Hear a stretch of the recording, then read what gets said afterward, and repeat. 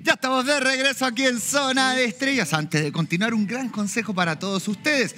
Con Instituto IDOMEC Tú eliges. Idomec te ofrece dos promociones para comenzar tu curso de peluquería profesional de la mejor manera. Ambas promociones te entregan matrícula a costo cero. Con la primera puedes elegir una cabeza técnica y un set de peinetas. Y con la segunda te entregamos un kit completo de herramientas que cuentas con un set de tijeras, capa de corte, gorro térmico, además de otros implementos. Consulta en nuestro WhatsApp más 569 965 50632. Repito, más 569 965-50632 y también en nuestras redes sociales para que puedas ver detalles de cada una de las promociones. IDOMEC, más de 20 años capacitando profesionales. Fuerte el aplauso para IDOMEC, presente aquí en Zona de Estrellas. Hay bomba en relación al programa Melate. Recordemos que tras su salida bien bullada de TV Hoy, al parecer, ya tendría nueva casa televisiva. Daniel fue en salida a través de sus redes sociales. Algo ya está dejando ver. Quien nos trae este exclusivo y nos cuenta detalles es precisamente nuestro vampirín, Huguito Valencia. Así es, porque dio una entrevista al medio, mira lo que hizo Daniel fue en salida y eh, señaló ¿Qué pasó? Precioso. Hermoso, amigo. ¿Por qué tú repetís todas las tonteras que te dice el otro día? Pues si me pregunta qué pasó, pues. ¿por qué me estoy riendo? ¿Qué queréis que haga? Es verdad. Ya. Te di una entrevista, gracias Adrianita. Amigo, es que Jeans por Yo atrás encuentro lo mismo, a ver. Ya, Mira, está haciendo efecto el gimnasio porque ese es un pitillo elasticado. Ya. Basta, por favor. Ahora, si te puedes sacar las pompas de atrás, el, Oiga, el relleno. si estaba, estaba más musculosito, estaba... Sacó piernas, sacó piernas. Sacó piernas, Ya, sí. ya. Sacó pierna. Yo, yo creo que debería darse una vueltecita. Darle un 380. Perdón, ¿usted qué cree que soy un pedazo de bistec en la No, eres un guachalomo, guachalomo que siempre está de oferta. Respétenme. Sí. Respétenme. Exijo respeto en mi país. Eh, eh, eh. Ay, cuesta, le cuesta. Si yo no tengo. La tiene tapadita. No tengo punto. Así, Ya, así. Vamos a la información, mueve la. Ah, se te hizo. Oye, se te como- hizo Mira, colita. Como dijo, Mauricio. Copano. Queremos ver Las la chicas quieren ver la colita. Yo vengo a trabajar acá por el mínimo para informar. No para. La mueve la nena maldita. Así, así como la la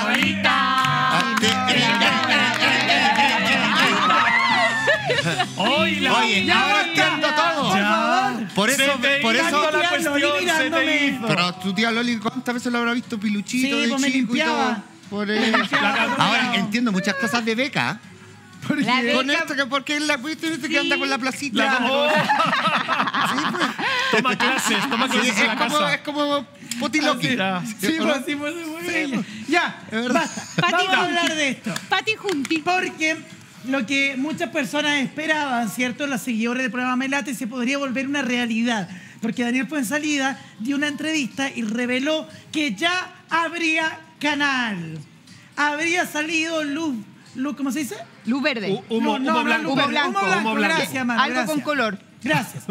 Exactamente. Y volvería de la mano de sus viejos colaboradores. Y viejos colaboradores Ay, como lindo, Luis Luis Sandoval Sandoval y y Sergio, Sergio Rojas. Rojas. Ese sí que es un viejo colaborador. Pero hay Francisco Helsinki, No. su principal estandarte, el que más lo quiere. No, ya no lo quiere nada. Parece ¿Cómo que ya no pasa sí? nada. ¿Cómo? Ya, pero primero les cuento el canal. Y Ya, de ahí sí. entramos ese cagüín que ahí hay otro Me tema. encanta. Con, ¿En serio? con experto en reality, Sergio Rojas se agarraron de Sí. las mechas, ¿Por no sé qué. Porque se ha desgranado el choclo. Estaban aburridos en pues. casa, amiga. Ya, porque el canal a donde regresaría el programa Melate sería nada más ni nada menos que Espérame un poco. TVN, todavía, ah, TVN, Ah, claro. Sí, esto claro. todavía no estaría oleado y sacramentado, es decir, no está puesta la rúbrica Yo de la entiendo que sí, productora de hecho te, te podría hasta tirar una fecha. Ya. Ah, ya. Fecha estreno, fecha estreno. Fecha estreno. Horario, competimos, volvemos a competir. Es que el canal Ya. parece que Que- o sea que entra Melati y sale Zona Estrella. parece. Me dicen que Zona Latina sería el canal. en Ay, me que- está ahí. No te puedo Amigo, déjate de llegar. A ver, espérate, ¿cómo que no? Si tú me lo dijiste en la pauta, pues Pablo Candia, ¿qué sí, queréis que diga yo? ¿Cómo? A mover la colita. No, po. Yo creo que tiene que mover la colita, ¿cómo que esto que- no. O sea, no, no, nosotros- no.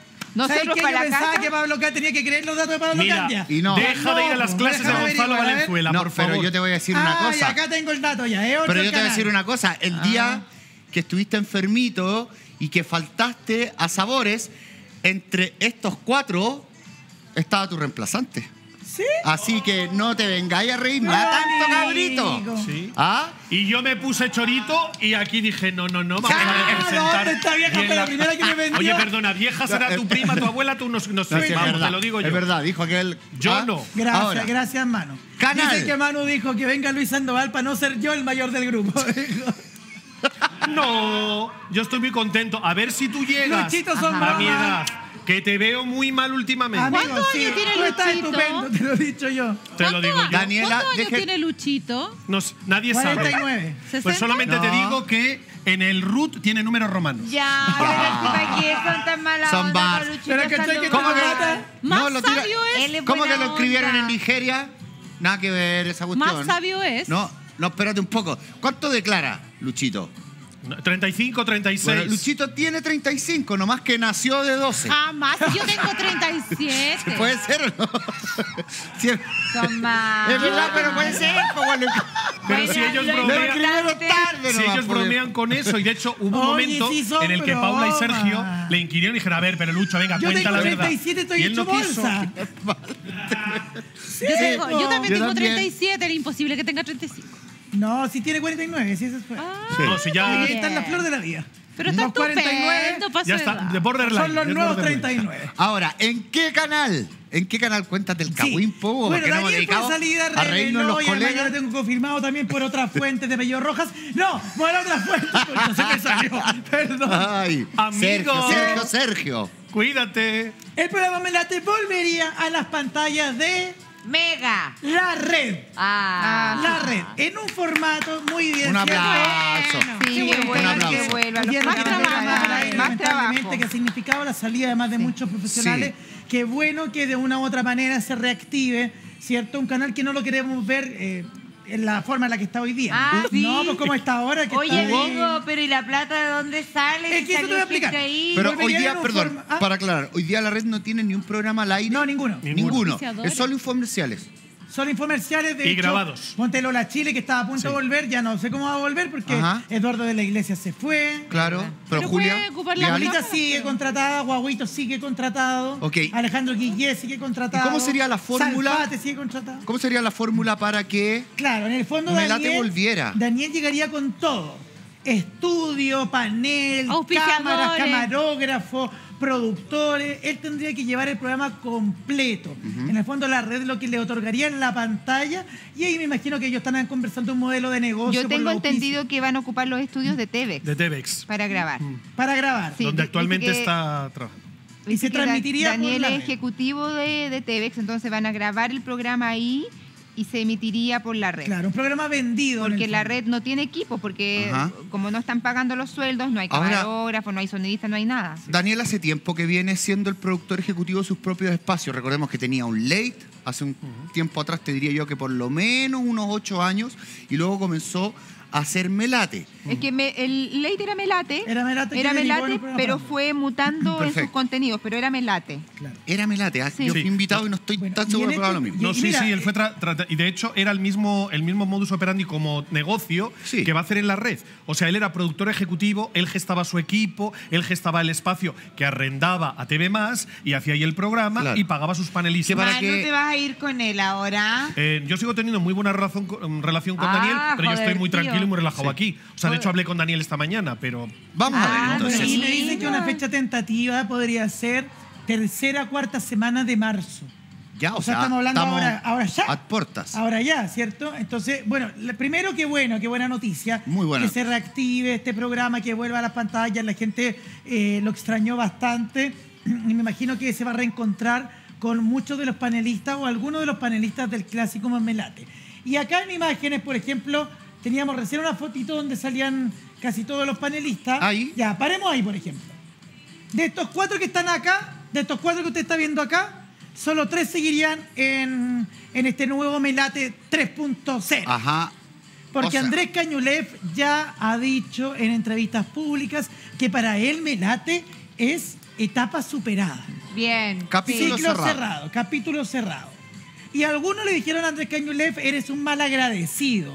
Qué feo. Porque si no fuera por. Melate no estarías en pantalla. Comentarios que surgieron en las redes Sí, sociales. pero es que esa y de hecho onda. ocasionó una respuesta de Sergio Rojas en contra Sí. de Andrés, porque de alguna manera él sintió que también era como un ninguneo al programa que le dio la posibilidad de volver a la pantalla. Pero ¿Qué de la misma dijo? manera, yo hablé con Daniel y hablé también con Andrés, les pregunté sobre la circunstancia y desde luego eh, Daniel valora profesionalmente muy bien a Andrés, entiende lo que él quiso decir y cómo lo- de- no tiene ningún resquemor y entiende que cuando él lo ayudó también lo necesitaba Oye, para te- el programa. te- te- Palabras de buena te, está- crianza, ¿Te estás comprando las camisas en el mismo lugar que Daniel Fonsalía? Sí. Él se está comprando las camisas en el mismo lugar donde me compro yo. ah, ah, yo te quiero decir que palabras de buena crianza. Yo aquí No, pero es cierto. quiero ver qué fue lo que dijo Sergio Rojas, que es el más impulsivo, que es el que dice las cosas como son, pam, pam, vino, ¿Cómo vino, que como y que probablemente represente el sentir del equipo versus las declaraciones que dio Andrés Cañuelas. Él como que se atreve a decir lo que, lo que Daniel Lo no que nadie dice. se atreve. Sí, lo que ¿No? Daniel Pero no es que también ensucia al compañero, porque ensució a Andrés ese día. Yo me enojé con Sergio, esa vez me dolió, porque él habló desde el amor, desde el despecho, desde la relación que no funcionó. Tenemos esa cuña, me está soplando Pablo Candia. Tenemos esa cuña que tiene que ver precisamente con lo que le dijo Andrés Cañuelas. Muy bien, la estamos buscando. Oye, una cosita, Marito. Si el programa va a ser de farándula y va a ser emitido por la red, el ícono de la farándula de la red es Guaguito Michael Roldán. Sí. Yo me imagino que al estar este programa al aire va a haber un espacio para Michael Roldán. Pero es que en el Michael panel. igual en la red por lo menos, él ya, digamos, había cambiado el tono. Cerró el ciclo. Había salido de intrusos cuando se acabó el programa y estaba animando Así Somos. Y por lo menos él tiene un contrato hoy día estable con la red para volver con ese programa. No tiene idea si lo va a hacer o no. Que le paguen los tres meses que le deben, dijo antes de volver a hacer Sí, pues. programa en la red. Le den tres meses. Hay de 90 Y sueldo. días de retraso. Oye, ¿qué dijo Sergio Rojas de Andrés Cañulev? Muérete niña. ¿Qué dijo? Le venden el alma al diablo. Al cole flecha, al con olor a azufre, al mandingas. Dijo Andrés Cañulet, para mí Melate es una etapa cerrada. Esas fueron las declaraciones que, que él dio, lo que ocasionaron, ¿cierto?, la respuesta de parte de Sergio Rojas, quien dice, yo creo que mucha gente ha utilizado Melate como un trampolín y es parte de la industria del juego televisivo. Las metas y los deseos de cada quien son parte de la sed televisiva. En mi caso particular agradezco a Dios no vivir de la tele porque puedo estar donde quiero estar y con quien quiero estar, más allá de las lucas. Pero también entiendo que hay personas que le venden el alma al diablo por la cantidad de plata que la industria mueve. Qué feo. ¿Y qué, y qué problema hay en todo eso? Yo sigo, yo sigo buscando en las palabras de Sergio, aparte de cierto rencor o ira, que no sé muy bien por qué, ¿por qué encara Andrés de esa manera? O sea, si el programa desaparece, el programa solamente tenía unas apariciones en los hoteles como una especie de una suerte de café concert. Obviamente hay que pagar unas cuentas, hay que seguir trabajando. A Andrés le dan la oportunidad Claro, de ¿qué iba a incorporarse a mucho gusto. ¿Qué culpa tiene Andrés ¿Qué iba a de ser un excelente espera, profesional? Sí, es un excelente profesional. No, y que iba a hacer, claro, iba a esperar a- eh, eh, ese periodo en que, de incertidumbre en que el Melate no tenía canal, no sabían si volvían o no, ¿qué iba a hacer? Pero Sergio Obviamente no Pero se no será refiere que a Ser- eso. Estoy tratando de entender a Sergio, ¿no será que la verdad? Porque esta declaración la da en medio de los rumores que Andrés no se llevaba muy bien con José Antonio Neve. Ya, vamos a sentar en la pinología porque. Es que yo ahora entiendo a Cañulet porque es súper difícil estar con alguien que es bipolar en un panel. ¿quién es bipolar? Neme. Claro, entonces no será que ¿Por qué Sergio dices lo que es dice en el bipolar? fondo. ¿Y por porque- qué soy tan cizañero? No, estoy ahí preguntando. nomás. No, amiga, de verdad, yo igual quedé dando vuelta porque es la tercera vez que dices en el programa que José Antonio Neme es bipolar. Claro. ¿Pasó Porque algo, un día amiga? tiene una opinión y el otro día tiene otra opinión, solamente por eso. Bueno, pero es que él cambia de Pero opinión ¿qué todos los opinión días, fue? le pasan ¿Qué- cositas. Sí, Pero espérate, ¿qué opinión Te fue? Ya, igual. pero yo no quiero entrar en, pol- en eso, Ok, Adri. ok, no, no hay problema. igual, tan yo no insistente. sabía, yo no vi el programa hoy. Oye, Manu es nuestro Kramer, ¿ah? Vol- Está- hoy sí, día está el imitando, hombre de las mil voces. ¿Y por qué dices Ahora, perdón, pero lo que yo creo a lo que se refiere Sergio Rojas, y espero interpretarlo, no tiene que ver con que Andrés Cañulev haya tomado nuevos rumbos, de que haya recibido una oportunidad de pega, de que lo está haciendo bien, incluso que le hayan extendido su contrato. Es que la declaración de decir que el capítulo está cerrado es escupir al cielo Ah. y está de más, a mi modo de ver, y es lo que puede haber picado a Sergio Rojas. Sí, porque quizás es Claro. verdad, en la industria muchos panelistas de programas salen, entran. Bueno, Sí, lo hizo el po. mismo Andrés. Andrés en un minuto sale de Canal 13, Sí. ¿cierto? Lo echan del Canal 13, Se fue a sale del matinal, sale de prensa, eh, se va a televisión y luego vuelve Sí, po. al matinal. Cuando, en una época en donde él no tenía trabajo, entonces lo Sí, invitan a formar verdad. parte nuevamente del matinal. Entonces, tiene, ahí tenía un súper buen punto, Mario, porque Yo creo. uno nunca tiene que decir, no volveré No, a tomar claro. de esta de agua. esta agua no beberé. Claro, no beberé más. y morder este- la mano que te voy a comer ni porque este por cura último, es mi papá. mira, la vida da muchas vueltas. Y en ese sentido, uno dice, mira, ¿sabéis qué? Me voy con grandes recuerdos, tengo grandes amigos, espero que les vaya increíble. ¿Quién sabe el día de mañana si los caminos se vuelven a juntar? Que hay como rey, no molestáis a nadie, no sacáis roncha y seguís haciendo lo tuyo en Mega. ¿Qué fue lo que dijo Sergio Rojas, que se está sobando las manitos? ¿Qué le contestó a Andrés Cañulev cuando habla de que esta etapa está cerrada, refiriéndose al programa Melate y con respecto a su vuelta a este espacio? Comerciales y ya estamos de regreso, no se mueve nuestra sintonía.